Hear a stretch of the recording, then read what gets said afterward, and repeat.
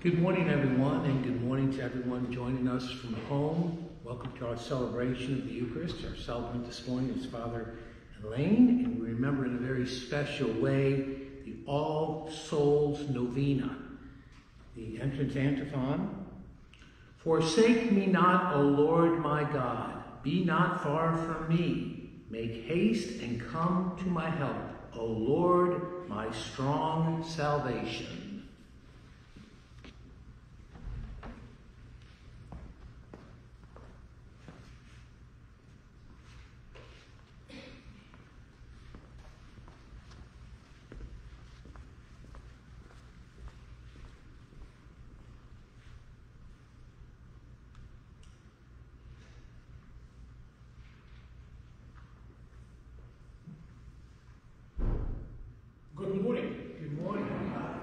The celebration. Today is Saturday. We venerate in a special way on Saturday our Blessed Mother, and we celebrate this Mass in her honor. We gather together in the name of the Father, and of the Son, and of the Holy Spirit. Amen. The grace of our Lord Jesus Christ, and the love of God, and the communion of the Holy Spirit be with you all. Amen. Brothers and sisters, acknowledge our sins and so prepare ourselves to celebrate the secret mystery. You were sent to heal the contrite of heart. Lord, have mercy. Lord, have mercy. You came to call sinners. Christ, have mercy. Christ, have mercy. You are seated at the right hand of the Father to intercede for us. Lord, have mercy. Lord, have mercy. May Almighty God have mercy on us, forgive us our sins, and bring us to everlasting life. Amen. Let us pray.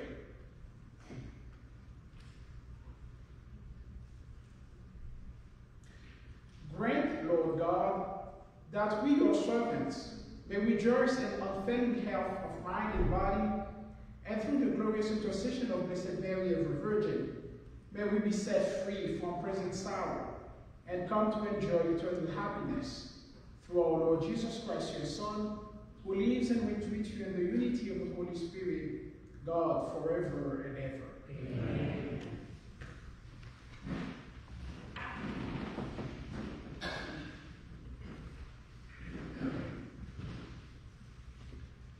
A reading from the letter of St. Paul to the Philippians.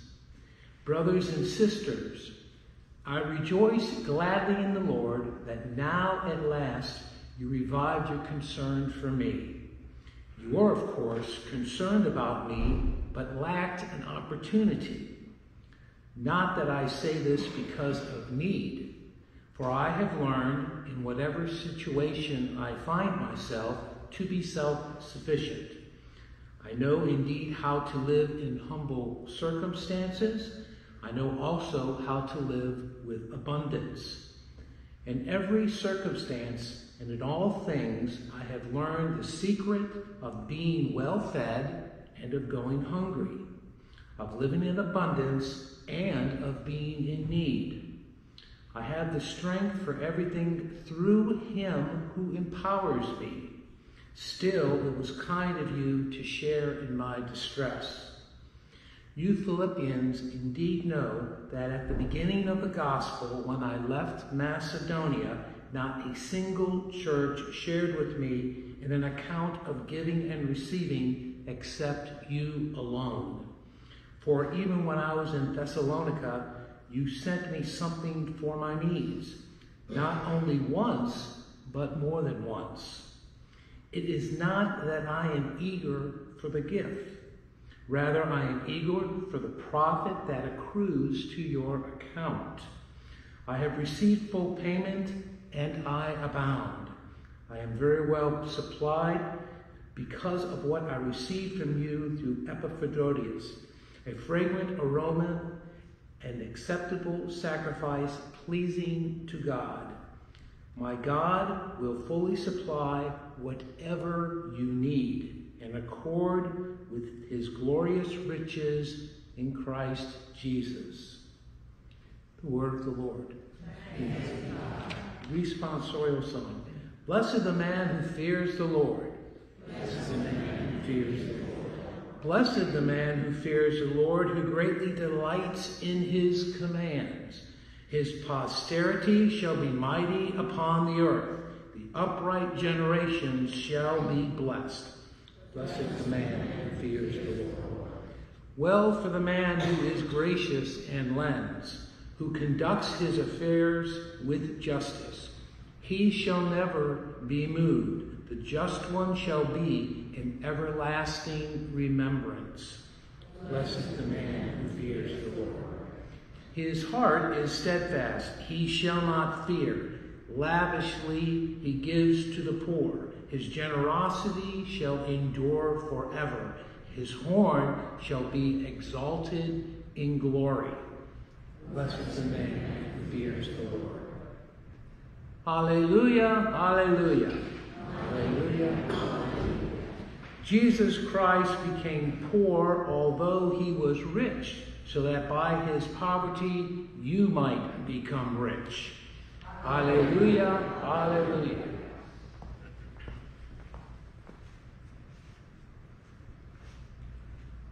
The Lord be with you. A reading from the Holy Gospel according to Luke. Jesus said to his disciples, I tell you, make friends for yourselves with dishonest wealth, so that when it fails, you will be welcomed into eternal dwellings. The person who is trustworthy in very small matters is also trustworthy in great ones. And the person who is dishonest in very small matters is also dishonest in great ones. If, therefore, you are not trustworthy with dishonest wealth, you will trust. Who will trust you with true wealth? If you are not trustworthy with what belongs to another, who will give you what is yours? No servant can serve two masters. He will either hate one and love the other, or be devoted to one and despise the other. You cannot serve God and mammon. The Pharisees who loved money heard all these things and smiled at him, and he said to them, You justify yourselves in the sight of others, but God knows your hearts. For what is of human esteem is an abomination in the sight of God. The Gospel of the Lord.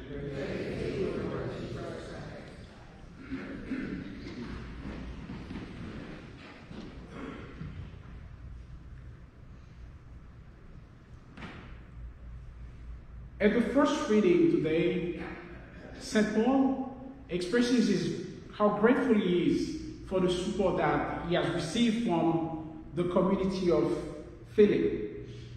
He wants to express his gratitude to the Philippians because they have been with him at tough time.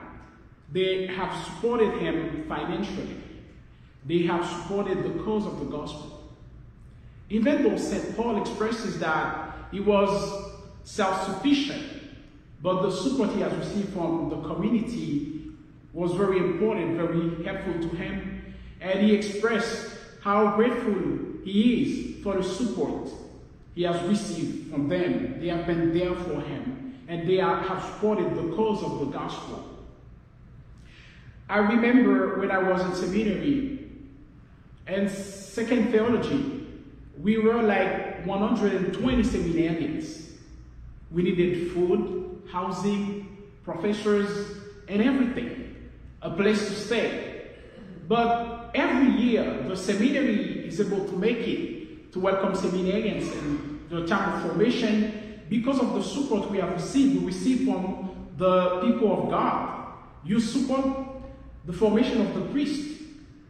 That's why when I go somewhere, and I said so when I, I had to introduce myself here in this community. I like to say, and I'm proud to say that I am your priest. You have made me a priest. The people of God support our formation. We are priests for you. We are priests to serve you. We are priests for the people of God to serve the church, to serve God and His church. Because I've spent five years in formation. I didn't pay a penny for my formation. five years because of your support.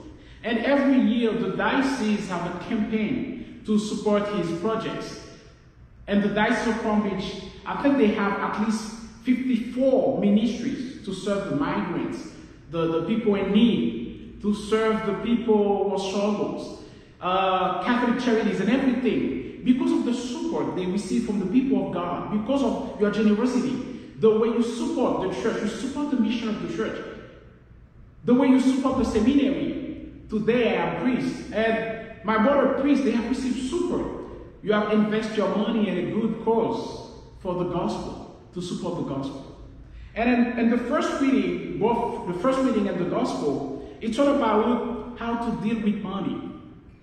Jesus raises up an issue about money and the gospel. He challenges disciples, his followers, how to deal with money, the relationship with money.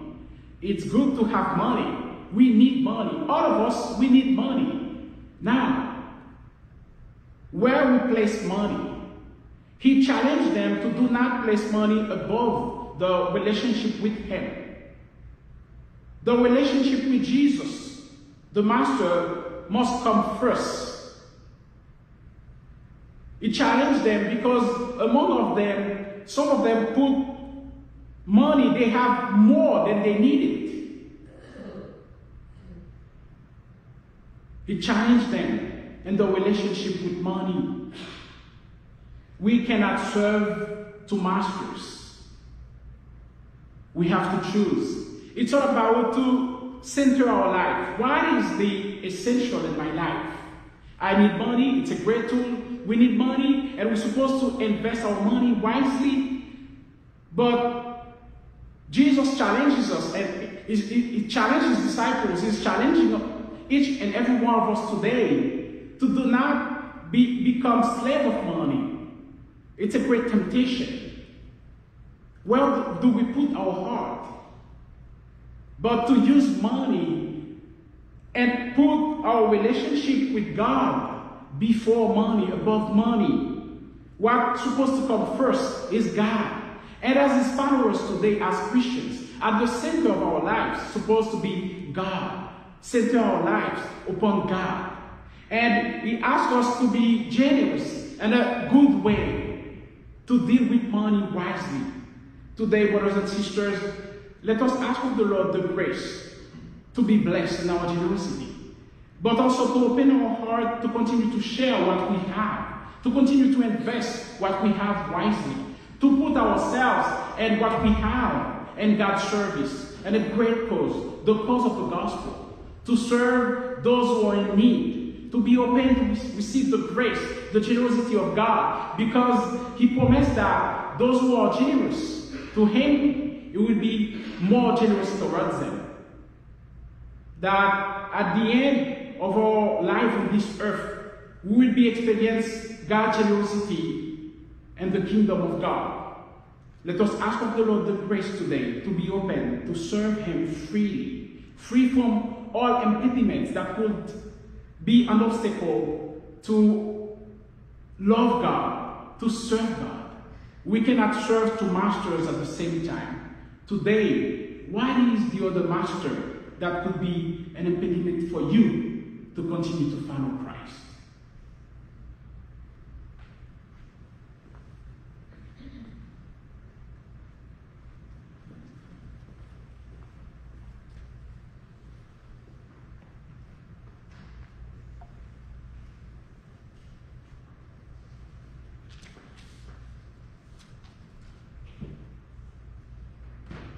Please rise. Trusting in God's generosity towards us, let us bring to Him our petitions for our personal needs, for the needs of our church, our families, for the needs of the whole world. For all members of the church, may God help us to be trustworthy in all matters related to her. Let us pray to the Lord. Lord, For government officials, locally and throughout the world, may God grant them the wisdom and courage to lead with justice and peace. Let us pray to the Lord. For all who are poor, unemployed, or struggling to make ends meet, may God generously provide for their needs and inspire others to assist them. Let us pray to the Lord. For this community of faith, may God grant us a generosity of spirit toward one another. Let us pray to the Lord. For all who have died, may God welcome them into the kingdom of heaven and grant them eternal peace. Us pray to the Lord.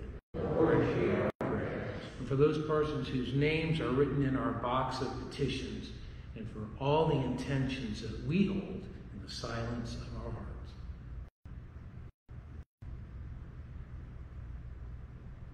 We pray to the Lord.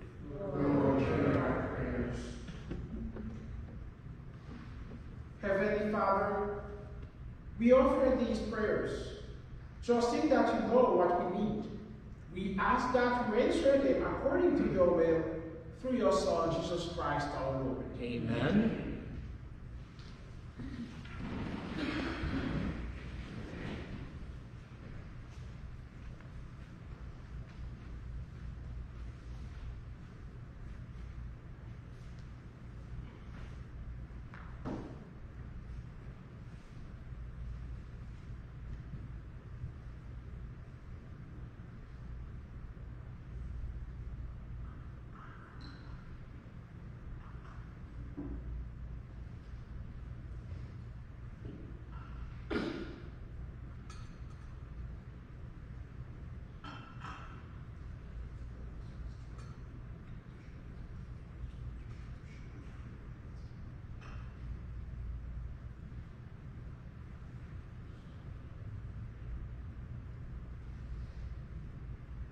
Blessed are you, Lord God of all creation, for through your goodness we have received the bread we offer you, fruit of the earth and work of human hands.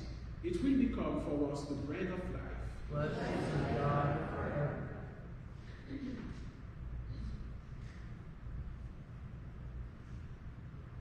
Blessed are you, Lord God of all creation, for through your goodness we have received the wine we offer you, fruit of the vine and work of human hands. It will become our spiritual drink. Blessed be God forever.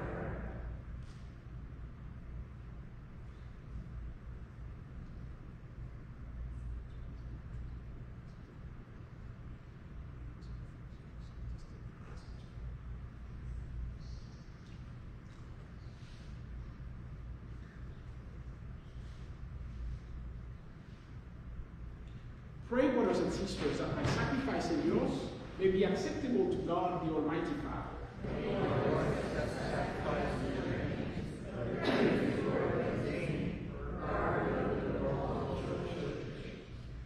Receive, O Lord, we ask the prayers of your people with the sacrificial offerings, that through the intercession of Blessed Mary, the mother of your Son, no petition may go unanswered, no request be made in vain, through Christ our Lord. Amen. The Lord be with you.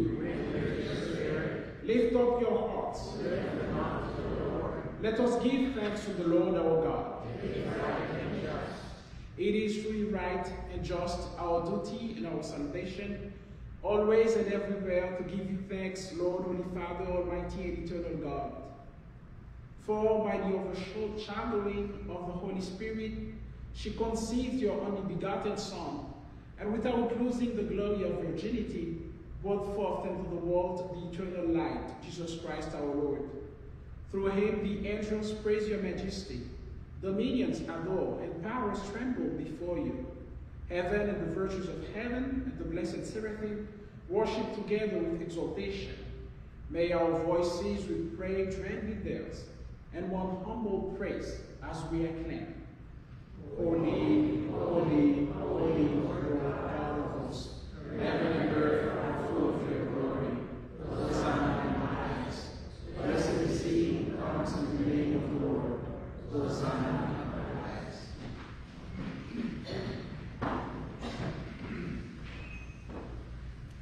You are indeed holy, O Lord, the fount of all holiness. Make holy, therefore, these gifts, we pray, by sending down your Spirit upon them like the dewfall, so that they may become for us the body and blood of our Lord Jesus Christ. At the time he was betrayed and entered willingly into his passion, he took bread and giving thanks, broke it, and gave it to his disciples, saying, Take this, all of you, and eat of it, for this is my body, which will be given up for you.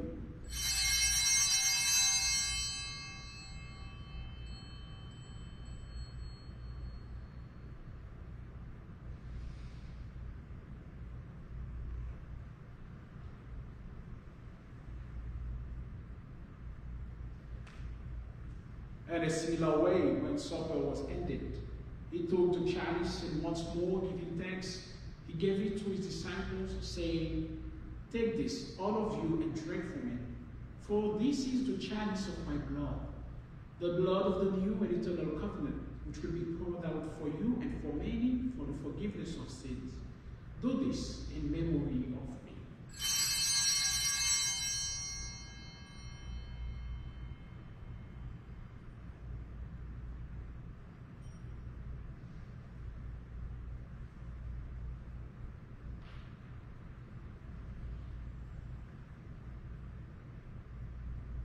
mystery of faith. We proclaim your death, O Lord, and profess your resurrection until you come again. Therefore, as we celebrate the memory of his death and resurrection, we offer you, Lord, the bread of life and the chalice of salvation, giving thanks that you have held us worthy to be in your presence and minister to you. Humbly we pray that partaking of the body and blood of Christ, we may be gathered into one by the Holy Spirit. Remember, Lord, your church spread throughout the world, and bring her to the fullness of charity, together with Francis, our Pope, and Gerald, our Bishop, and all the clergy. Remember also our brothers and sisters who are fallen asleep in the hope of the resurrection, and all who have died in your mercy. Welcome them into the light of your face. Have mercy on us all, we pray, that with the Blessed Virgin Mary, Mother of God, with blessed Joseph, her spouse, with the blessed apostles, and all those saints who have pleased you throughout the ages, we may make it to be co-heirs to eternal life, and may praise and glorify you through your Son, Jesus Christ. Through him, and with him, and in him, O God, Almighty Father, in the unity of the Holy Spirit, all glory and honor is yours, forever and ever. Amen. At the Savior's command, and formed by divine teaching, we dare to say, Our Father, who art in heaven, hallowed be thy name. Thy kingdom come, thy will be done, on earth as it is in heaven. Give us this day our daily bread, and forgive us our trespasses, as we forgive those who trespass against us. And lead us not into temptation, but deliver us from evil. Deliver us, Lord, we pray, from every evil. Graciously grant peace in our days, that by the help of your mercy we may be always free from sin and safe from all distress, as we await the blessed hope and the coming of our Savior, Jesus Christ. For the kingdom and the power and the glory are yours now and forever. Lord Jesus Christ, who said to your apostles, Peace I leave you, my peace I give you. Look not on our saints, but on the faith of your church, and graciously grant her peace and unity in accordance with your will, who live and reign forever and ever. Amen. The peace of the Lord be with you always. Let us offer each other the sign of peace.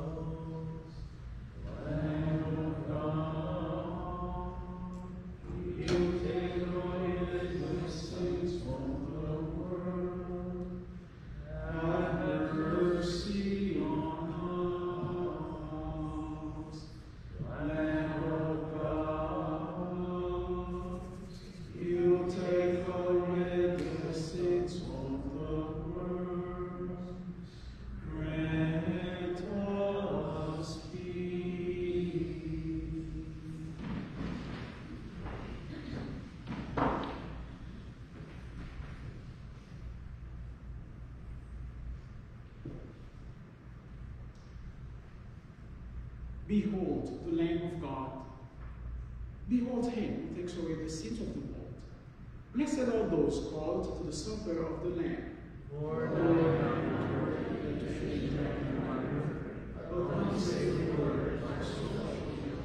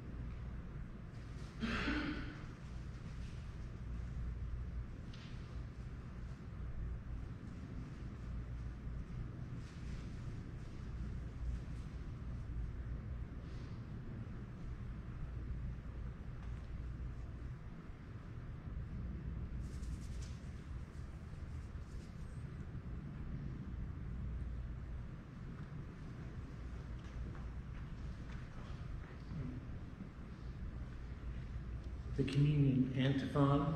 You will show me the path of life, the fullness of joy in your presence, O Lord.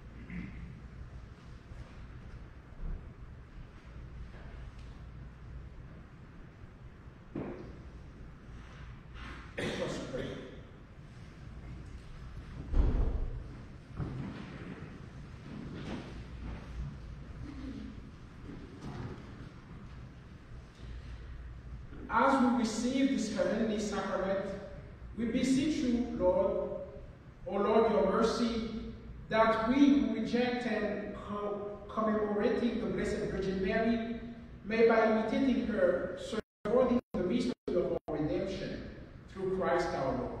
Amen. The Lord be with you. May Almighty God bless you, the Father, and the Son, and the Holy Spirit. Amen. Go in peace, glorify the Lord by your lives. Thank you, God. But we have the novena, the prayer of the novena at the end.